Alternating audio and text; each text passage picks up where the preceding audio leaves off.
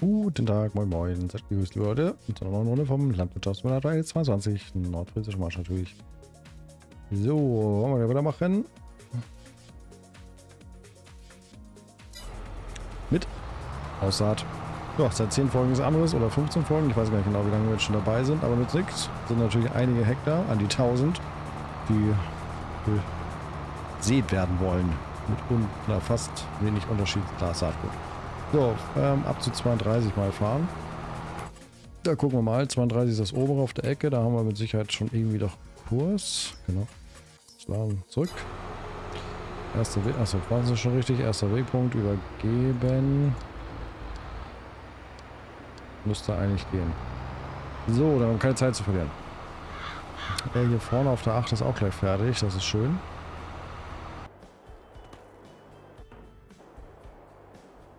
Sind wir schon ganz gut vorangekommen.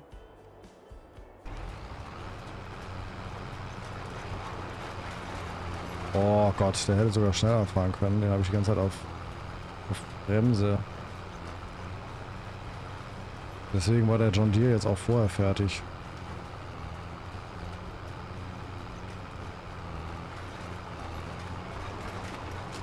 Ja, noch eine Minute.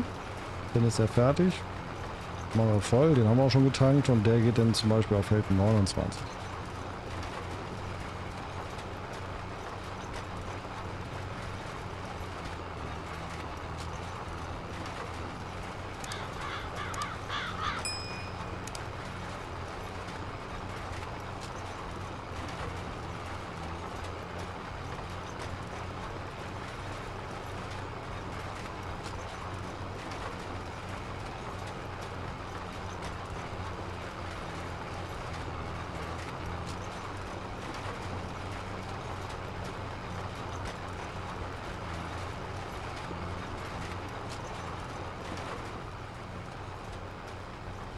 So, den nehmen wir mal raus.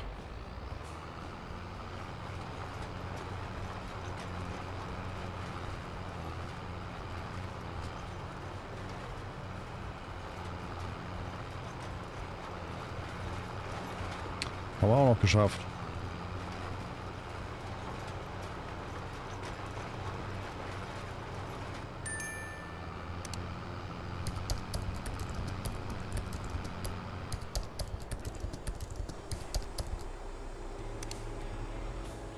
Da mal kurz warten, genau, sonst hängen wir nämlich am Baum fest, das war knapp.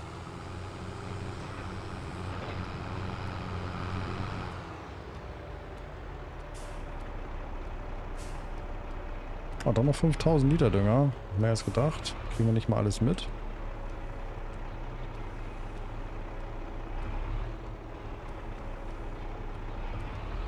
Also hier haben wir noch 3000. Können wir mal merken. Nachdem wir das Feld 32 oder 29 gemacht haben. Da dürfte, weil die Felder sind ja nicht so groß, da müsste Dünger übrig bleiben. Auch wenn wir da jetzt nicht vorgedüngt haben oder irgendwas. Ähm, machen wir weiter mit Leinsaat. Und Leinsaat ist halt, braucht nicht viel Dünger. Nicht so viel. Wir setzen voll auf Leinsamen. Ohne Ende haben wir nachher davon. Aber das können wir gut verkaufen. Und zur Not hätten wir sogar noch Flachs auf den Feldern, die wir auch noch irgendwie verkaufen können. Pressen, abfahren, sammeln, abfahren, verkaufen, weiß ich auch nicht. Aber irgendwie könnten wir es auch noch verarbeiten. Ja, hier vorne wartet ein LKW mal auf die erste Zusammenstellung. Um 17 Uhr sollten auch so, so Krabbensalat und sowas hier mal ins Zentrallager geliefert werden. Gucken, ob es funktioniert.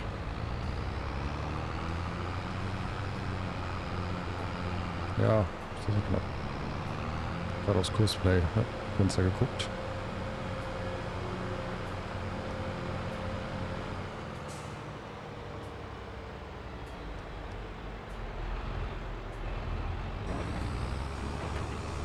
Glaube, mit der Felderweiterung haben wir das noch nicht bearbeitet. Also ich kalkuliere direkt frisch neu hier rein. Und gut ist. Ah, jo, genau, passt alles. Gut. Da vorne wird schon gearbeitet. Ja, dann können wir danach nochmal die Zeiten checken. Wie lange braucht wohl jeder. Dann haben wir da mal einen kleinen Überblick. Und Feld 8 ist fertig. So, ich sehe nichts, ne? Wenn man kein Auge. Hier ist Auge. Ein Stück zu weit.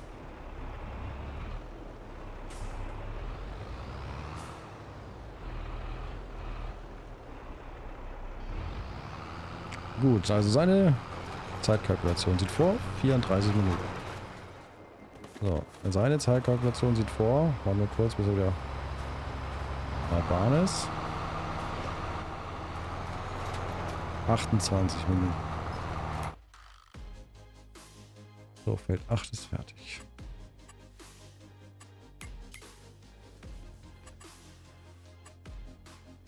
Kann ich hierüber nicht einsteigen? Verstehe es nicht. So, Fahrzeugerschein.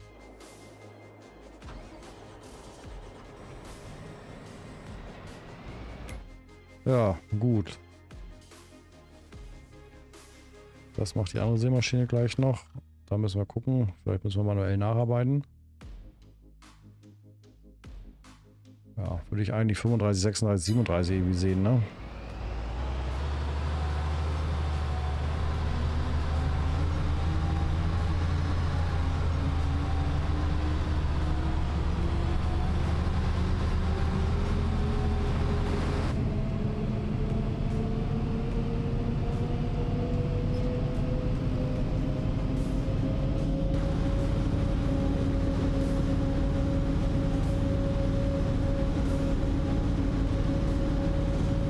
Den können wir jetzt gleich reparieren und tanken, weil sonst nervt er auf dem nächsten Feld damit rum. Das passt gut, dass wir jetzt hier sind.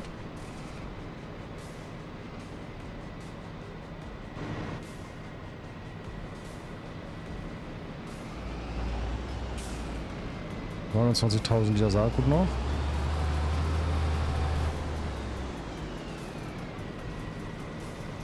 Und ich glaube, hier haben wir nichts mehr, ne? Also wir haben jetzt vielleicht das, was wir wieder produziert haben, so ein paar Krümeldünger.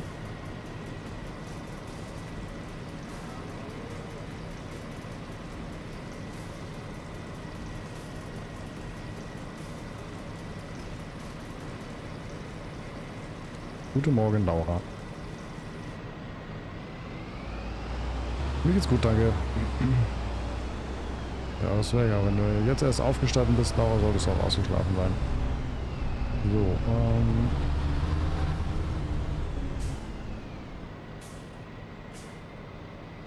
Die habe ich noch nicht platziert.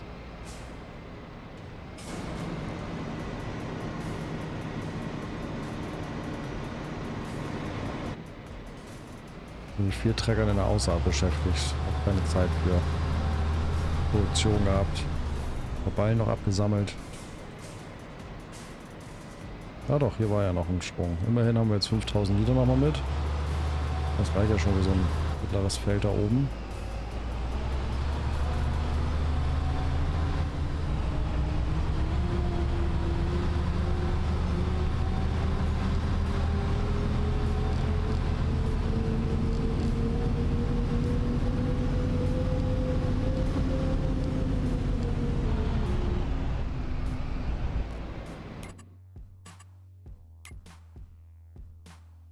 37 hätten wir. Nehmen wir das.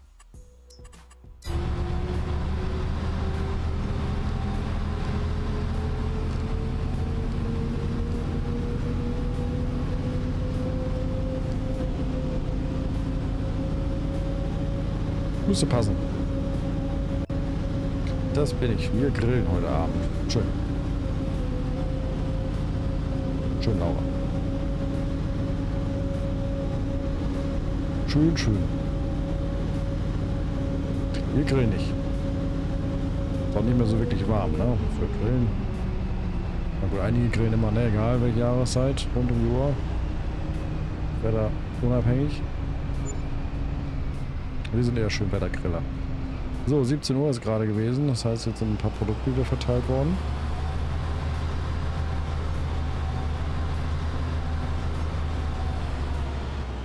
Wir hätten jetzt gleich 20 Minuten Zeit. So plus minus. Oh, so lange braucht der wahrscheinlich nicht mehr.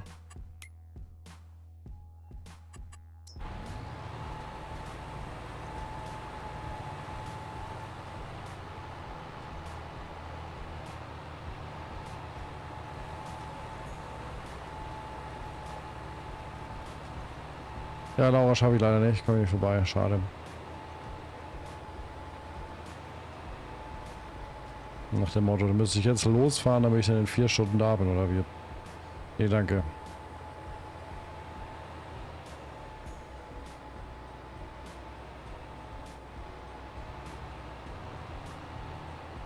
Das ist jetzt hier im Vorgewände. Also das macht er noch, das Ding in der Mitte, das müssen wir vielleicht dann später nochmal selber nacharbeiten.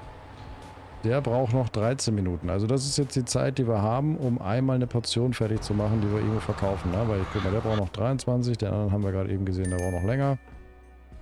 Ähm, der sollte sich übergeben, denke ich. Ja, dann nimmt die Arbeit auf. Also auch gut. Und wenn die alle fertig sind, die vier Felder, dann haben wir schon mal einen guten Schwung mehr geschafft.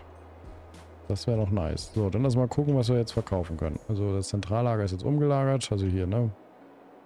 Wir machen mal eine... Da ist er. Wir machen mal eine kleine Tour fertig. So. Machen wir die Plane auf. Mal runter. Was haben wir?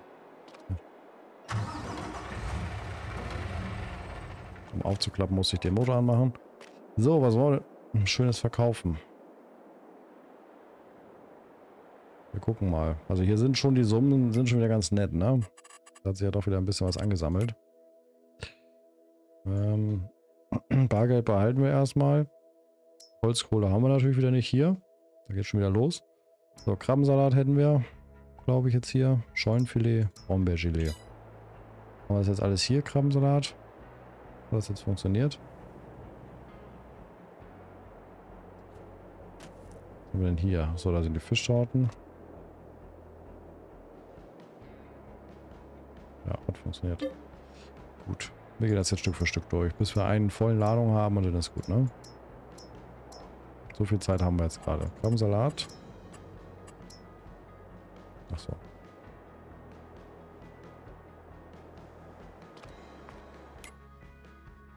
Brombeergelee. Schollenfilet.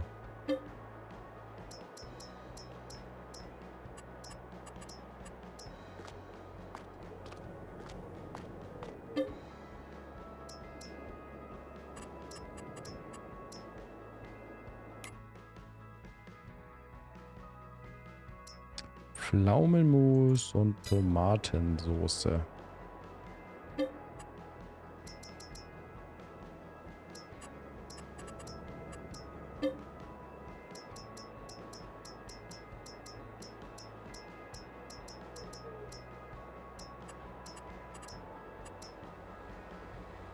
So, bald haben wir die erste Schicht voll. Jetzt brauchen wir erstmal wieder ein Autosave. Ja, viel Spaß gegen meins. So, ähm, Karottensaft hätten wir hier noch. Kroketten.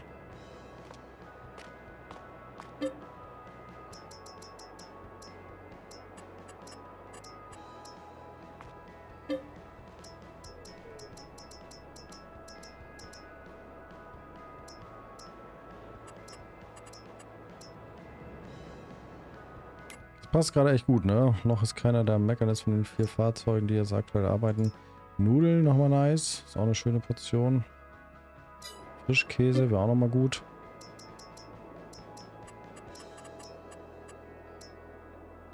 Die Nudeln noch und dann sind wir auch schon bald voll.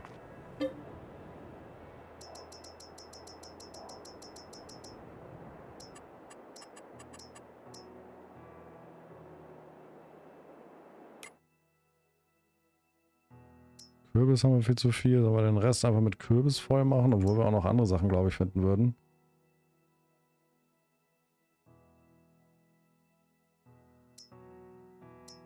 Sahne und Joghurt. Dinkelmehl. Weizenflaschenbier wäre auch noch mal ganz nice. Dann machen wir mal Weizenflaschenbier dazu.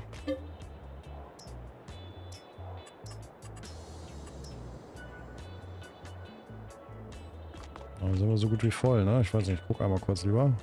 Sieben Paletten noch.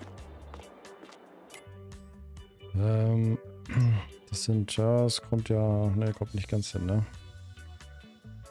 die sind ja alle gerade bei Aldi gut. Also, erste Bier, Weizen, mir ist eigentlich total egal.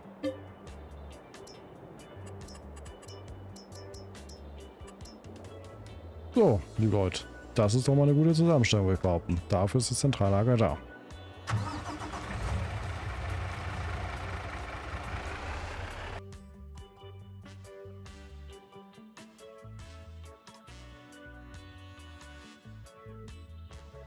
Und das ist erst die erste Ladung.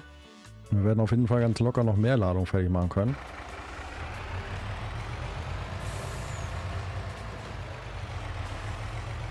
Aber das brauchen wir auch. Wir brauchen ja gerne, weiß ich nicht, wir können ja gerne nochmal zusammenrechnen. Vielleicht machen wir es in der nächsten Folge, rechnen wir nochmal zusammen. Ungefähr wie viel Millionen ich jetzt noch brauche für die letzten Produktionen. Weil das ist ja so ein bisschen das Ziel, ne? Also zumindest jede Mal gehabt zu haben. Ich werde nicht jedes Produkt mehr produzieren können. Nein, das schaffe ich nicht. Aber zumindest mal jede Produktion gehabt zu haben. Und vielleicht auch zumindest ein Produkt, auch je Produktion am Laufen zu haben. So, 32 ist auf dem Rückweg. 29 arbeitet schön. Ähm, hier oben die 37 arbeitet. So muss das nämlich sein. Der ist... Der eiert hier komisch rum immer noch.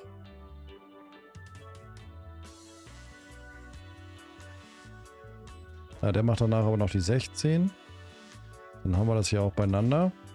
Auf der 14 war ja auch irgendwie was, ne? Da müssten wir eigentlich auch über Tabak drauf.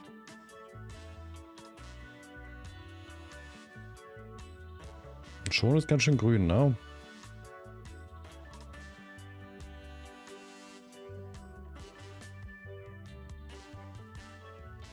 Zentrallager habe ich selber gebaut, ja. Das wäre mein Mod-Paket mit drin, ne? Ja, so viel Nudeln kannst du ja nicht weiter verarbeiten, wie das produziert. So. Das Zentrallager, ne? Da hat man überall alle möglichen Produkte. Ne? Insgesamt, weiß ich nicht, hatte meiner in letzter Zeit gezählt, wie viele Produkte hier in der Halle sind. Ich bin natürlich jetzt gerade in einer Halle, die am wenigsten Produkte hat. Das ist die Obst- und Gemüsehalle. Nö, also in meinem Mod-Paket gibt es ja einen Bauplan. Das macht natürlich auch nur überwiegend Sinn auf meiner Karte, weil hier die ganzen Produkte auch drauf sind. So. Zurück. Fetttiere, so, Fettmods. Dann hast du unter Lagerhallen einen Zentrallagerbauplan oder die einzelnen Zentrallagerhallen. Ne? Hier so ein Bauplan. Und wenn man es richtig aufbaut, da kann man immer sehen, welche Halle soll denn eigentlich wohin. Und dann passt das schon.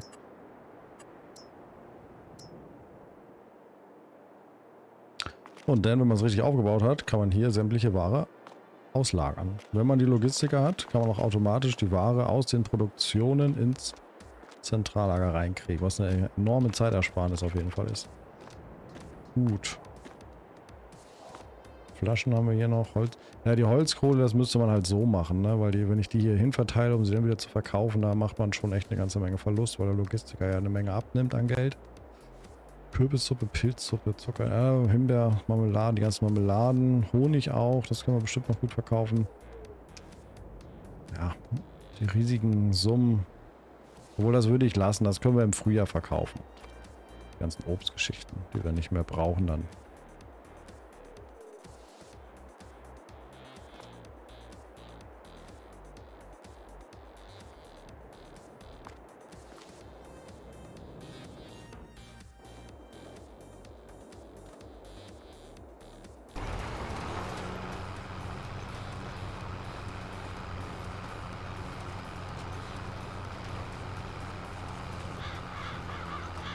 Noch 21 Minuten. Wo ist denn er eigentlich? Er kann auch ein paar Kleinigkeiten verkaufen. Oder mal gucken. Warte mal. Ja, ist doch wieder mehr dazu gekommen, ne? Milch bei der Molkerei. Ei und Flachs tatsächlich auch. Ich weiß gar nicht, Flachs mal gut so für diese Leinsaat einbauen. Ich weiß nicht, ob wir noch irgendwo Flachs übrig haben. Mayonnaise Mix 1 ist halt auch irgendwas Öliges. Also, ja, aber die Hühnerstelle. Also ich schicke den mal erstmal auch zum Zentrallager Warenausgabe. Dann könnten wir gucken, ob wir da was Öliges verteilen. Guck einmal kurz zu unseren Hühnerproduktion. Achso, das sind die Enten. Die haben so viel Down, ne?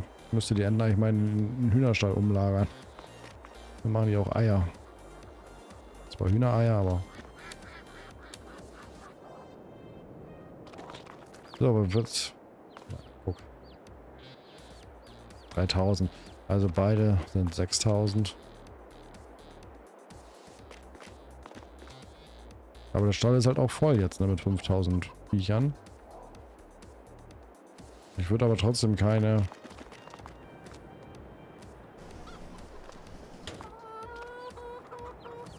Also bei diesem Stall wäre natürlich, wenn ich sowas wieder baue im 25er, finde ich, ist dieses Feedlot-System cooler, ne? Es sei denn, man kann das im LS25 besser einstellen. wie viele Tiere man anzeigen lassen wollen würde. Weil wir können ja nicht immer, ne, wie gesagt, nur auf Konsoleros, Konsolenspieler Rücksicht nehmen, die vielleicht nicht mehr als 16 Tiere hier darstellen können, sondern irgendwie 20 oder 100 Tiere. Dann müsste man das eigentlich hier so ähnlich machen wie beim beim Feedlot, ne? Dass man so einen Bauplan hat, dass man hier einmal Hühner rein platzieren kann, hier Hühner rein platzieren, hier Hühner und hier Hühner, dass man hier viermal Hühner rein platzieren kann. Dann würden wir auch viermal so viele Hühner hier sehen und dann, glaube ich, wird es auch interessanter, ne? Weil so sieht das halt so albern aus. Laufen irgendwie drei Hähne rum so ungefähr und sieben Hühner. Wenn das mal vier wäre, dann würde das schon ein bisschen lebhafter aussehen im Stall, denke ich. Und dann habe ich jetzt auch alles nicht wirklich geschafft mich damit ein bisschen mehr auseinanderzusetzen. Zeittechnisch im LS22, die Zeit ist echt immer sehr relativ. Ähm, Lichtschalter und so weiter, ne?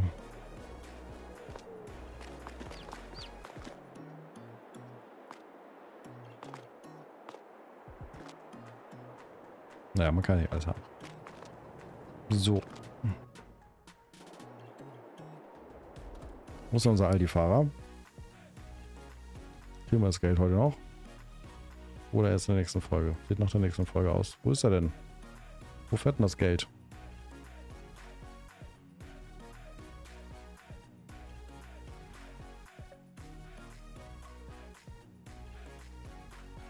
Wo ist er schon da? Nö. Gut. LKW mit großer Ladung vermisst. Schauen wir in der nächsten Folge. Bis dann, vielen Dank. Tschüss.